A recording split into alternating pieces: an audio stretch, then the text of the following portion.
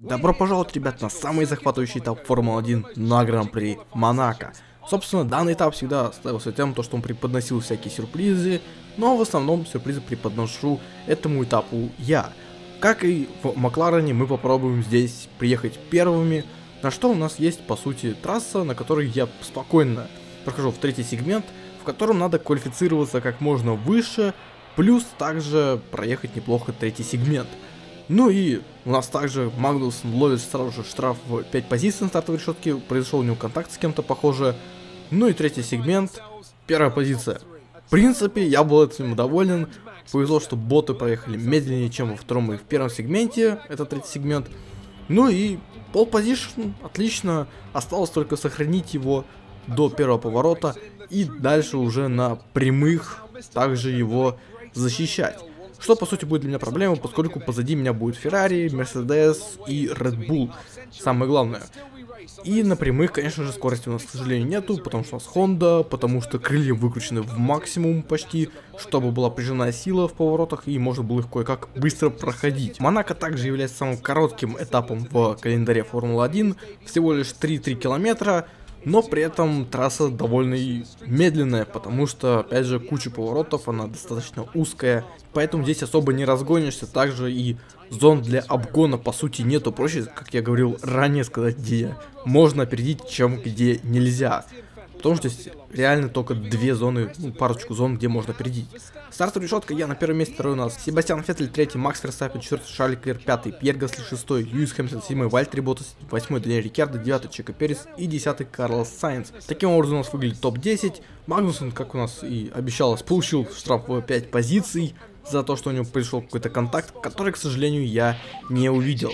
Стратегия у меня была тут расчет на то, что все, кто ехал на софте, они будут ехать на двух пидстопах, как это было в первом сезоне за Макларен, но тут все идет иначе, и игра уже предлагает изначально стратегию medium, и причем medium очень долго должен был выдержать. Так что патчи дают о себе знать, и игра уже неплохо так изменилась со времен именно первых стартов в F1 2019. Ну и переходим к самому старту. Гаснут красный огонь, я срываюсь с места. Причем получилось так отлично сорваться, что никто не смог ко мне даже приблизиться, то есть поравняться даже. И первый поворот я прохожу без проблем. И, соответственно, задача уже была сделана сохранить первую позицию до первого поворота, точнее после первого поворота. Стартовые камеры, Феттель довольно плохо стартовал, из-за чего сразу с ним поравнялся и Ферстаппин. И за счет этого Ферстаппин смог в первом же повороте навязать борьбу Феттелю и тем самым обойти его. Позади также у нас бок о бок все проходили первый поворот, но на подъеме уже все выстраивались в ровную линию, поскольку здесь довольно сложно обгонять и есть немаленькая вероятность того, что можно просто банально ошибиться и как себя убить, так и других оппонентов, которые идут позади. Что же, самая главная задача теперь сохранить первую позицию по ходу нескольких первых кругов и пытаться вообще отставить ее, потому что есть прямые, как я говорил, на которых у меня проблемы со скоростью и на которых мои оппоненты не побрезгуют меня опередить. Есть старт-финишная прямая, пусть немного бесполезным ДРСом, но она опять же есть, на которой опять же мои оппоненты будут иметь большое преимущество, но по скорости. Ферстаппин на первом же кругу пытается меня опередить, но я тут поступаю, конечно, достаточно грязно, сразу же ему закрываю калитку, из-за чего он ударяется об отбойник, ломает переднее антикрыло, и мне это дает возможность просто оторваться. Также я еще не вписался еще в автобусную остановку, из-за чего я немного ее срезал.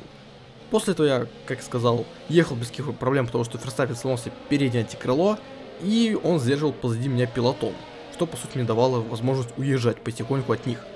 После пистопа я еще очень удачно выехал перед группой из трех болидов, которую, если бы я пропустил вперед, то у меня бы были проблемы, и я бы терял время, потому что опередить у меня было возможно только бы в третьем секторе.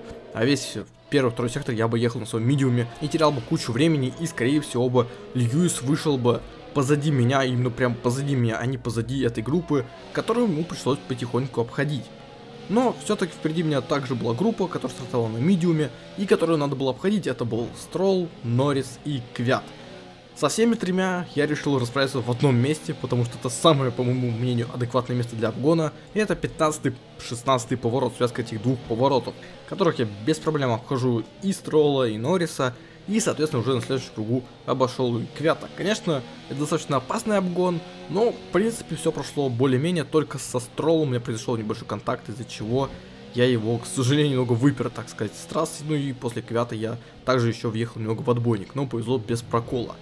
После этого я еще и с Грожаном повоевал в том же месте, потому что потихоньку у них темп сдает, их шины тоже сдают, и они потихоньку там будут уже заезжать на пидстопы и менять его там на софт или хард уже точно не помню, на что они там перешли. После Грожана мне остался только Сайенс, но он уже пошел после этого на пидстоп. В то же время, пока я всех обгонял впереди, также потихоньку и Льюис уже подъезжал ко мне, также он опережал Строла Норриса, но он опережал их еще в 10-11 повороте в автобусной остановке, который крайне сложно пройти бок о бок, там все время кто-то будет срезать. И честно, я не знаю, почему этот поворот вообще еще у нас есть в Формуле 1, как по мне, вот после туннеля можно было бы убрать автобусную остановку и тем самым дать гонщикам возможность сражаться вот на этой небольшой прямой. Попытаться как-то убрать еще изгиб этот, потому что там иначе он будет образовываться. И все, можно хоть как-то будет воевать с кем-то и пытаться обороняться, ну и плюс еще одна зона ДРС. Потому что Монако это, честно, ну, трасса, где ты смотришь, как кто-то едет за кем-то, и тут уже действительно неважно, какой у тебя болид по большей части, потому что ты можешь просто сдерживать любой болид позади себя. Ну, только на прямых, окей, могут возникнуть проблемы, но в поворотах здесь сложно очень обходить. Льюис меня догнал к 26 кругу и по итогу начал меня атаковать в том же самом месте на выходе из туннеля перед автобусной остановкой. Но вышло это по сути как с Верстаппином, но я не закрывал так сильно калитку, Льюис почему-то сам поехал в отбойник. Как итог, сломанное переднее антикрыло. И впервые за 30 этапов я увидел виртуальную машину безопасности, Карл. За 30. Серьезно, в первом сезоне у меня не было ни одной виртуальной машины безопасности, не говоря уже про вообще машину безопасности. Но наконец-то в Монако я ее увидел.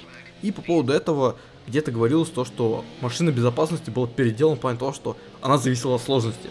Чем легче игра у тебя была, тем чаще она будет выезжать. Чем сложнее, тем она вообще будет реже выезжать, если вообще будет выезжать в принципе. Но виртуальная машина безопасности все-таки есть, оказывается, в этой игре. И может быть в будущем она также будет появляться, а может быть еще и машина безопасности появится, кто его знает. Все-таки это один из главных атрибутов Формулы 1, который должен быть в игре обязательно. А то как-то вот проехав первый сезон за Макларен, даже 4 гонки во втором сезоне, я не увидел ни одной машины безопасности. Хотя у него были моменты во втором сезоне в Баку, когда боты умудрились там столкнуться в третьем повороте, и по итогу там Льюис развернула, и по итогу это образовало небольшое столпотворение из болидов там шедших позади. Но машины безопасности даже виртуальной не было. Но тут все-таки, я думаю, все у нас будет потихоньку налаживаться. Первое место за мной, второй у нас Шарль Клер и третий Вальтри Ботас. Льюис у нас поехал на пистоп после этого повреждения, тем самым поменял еще резину и поставил самый лучший круг в гонке. Кстати, до момента первого пистопа лучший круг держался за мной. Ну, в принципе, оно и понятно, потому что Ферстаппин сдерживал позади себя весь пилотон, и из-за этого никто не мог особо быстро ехать. Монако получилось, в принципе, как обычно, не особо интересное. В 18-й формуле за Вильямсов, как я говорил еще в прошлом выпуске в Макларене, этапы 2015 года были просто офигенными. Ну, только уже когда я там за Макларен ездил, они так, был такой себе. Но было просто офигенно. Там аварии были, столпотворения были, машина безопасности выезжала, и по сути все было в кашу там перемешано, и весь пилотон тоже был перемешан. Так что советую посмотреть. Также, ребят, хочу поговорить немного по поводу видео и как они будут выходить. Начиная с сегодняшнего дня, именно с 1 октября, видео будут входить через день. То есть, э, они будут сейчас на нечетные дни выпадать. Почему я так делаю? Потому что у меня будет очень мало времени на то, чтобы стримить. Стримы проходят также на YouTube канале и на Twitch канале. Советую подписаться на то и на другое. И также на группу ВК, где вывешиваются все анонсы и все новости по поводу канала. Вот, э, у меня не будет времени, чтобы стримить и одновременно монтировать, поскольку я буду приходить поздно, и, соответственно, иногда я буду стримить, там 4-5 часов, и иногда буду сидеть и монтировать все это дело. Поэтому это будет как-то так выходить. Конечно, я думал, то, что я смогу делать каждый день и стримы, и видео, но я понимаю то, что я просто это физически не смогу и не потяну. Поэтому, ребят, как-то так. По модификациям продолжаем аэродинамику и продолжаем качать износоустойчивость некоторых элементов, а именно коробки двигателя. Потому что коробка у меня на этот этап была уже почти кончена, и ей было где-то процентов 80. То есть в любой момент могли выпадать передачи, и из-за этого я мог просто начать очень медленно ехать, и Леклер, скорее всего, меня бы смог тогда опередить.